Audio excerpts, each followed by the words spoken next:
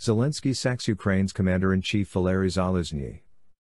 Ukraine's President Volodymyr Zelensky has sacked the commander in chief of the country's armed forces, Valerii Zaluzhnyi.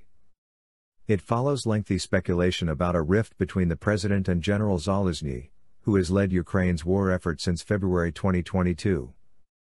The dismissal will be made official in a presidential decree. The country's defense minister Rustem Umerov said in a statement as the news emerged. General Valerii Zaluzhnyi had one of the most difficult tasks to lead the armed forces of Ukraine during the Great War with Russia. But war does not remain the same. War changes and demands change. Battles 2022, 2023, and 2024 are three different realities. 2024 will bring new changes, for which we must be ready.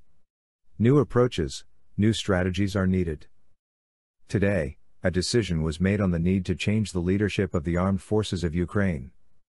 I am sincerely grateful to Valerii Fedorovych for all his achievements and victories. This breaking news story is being updated and more details will be published shortly.